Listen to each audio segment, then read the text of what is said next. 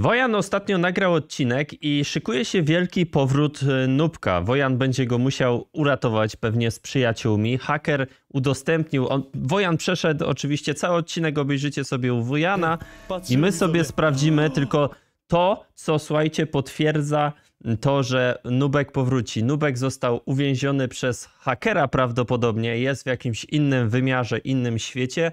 Wojan będzie go musiał uratować. Zobaczcie na winę, minę Wojana.